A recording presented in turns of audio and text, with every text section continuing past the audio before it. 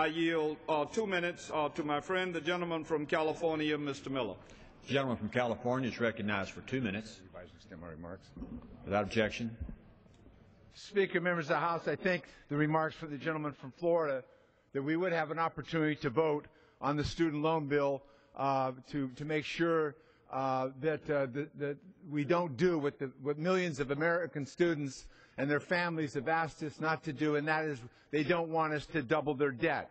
But in less than 100 hours, if we don't get the vote uh, that Mr. Hastings is talking about, in less than 100 hours, millions of American college students may see their student debt increase because of the Republican obstructionism. It's unfortunate that it has come to this. This issue shouldn't be partisan. It's about doing the right thing on behalf of millions of students and their families all across the country.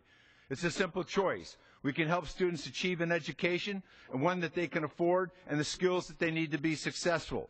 Or we can put, handle, we can put more hurdles in their way and increase the already skyrocketing debt burden that students absorb as they graduate from college. After more than a year of ignoring this issue, a year ago we were in this position and a year ago, we voted to keep the student loan rate at three and three quarters percent, and nothing has been done until recently. And then the Republicans came up with an idea that was really bad. It was worse than doubling the interest rate in July 1st. It was more expensive to the students than doubling the interest rates. It's not a smart solution. It's a terrible solution. It's terrible for students. It's terrible for their families. And after a year of ignoring this issue, the Republicans foisted this harmful idea onto the House floor.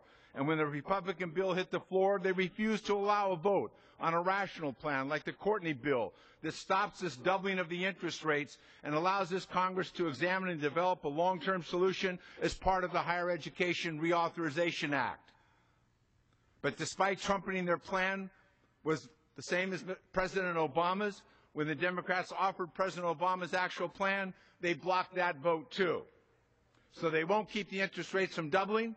They won't do a plan that they said is just like theirs. And, and on July An 1st. additional one minute. Gentleman Thank from the gentleman. California is recognized for an additional one minute. And on July 1st, those interest rates are going to double on millions of students as they start this school year in August and September. The time for obstruction is past. It's time to keep the rates low and to work on a long-term solution. It's time to stop asking college students and their families to bear an unfair burden of paying down the Bush deficits. The Republicans have chosen to stand, Democrats have chosen to stand with the students and families trying to access the American dream. We can do this. Millions of families and students have asked us, don't double their debt. And yet on July 1st, because of the Republican obstructionism, that's what's going to happen to these, uh, to these students. It's very unfortunate. It adds an additional $1,000 to the four years of college. We should not do that at this time in this economy for these students and families. I thank the gentleman for yielding. Time.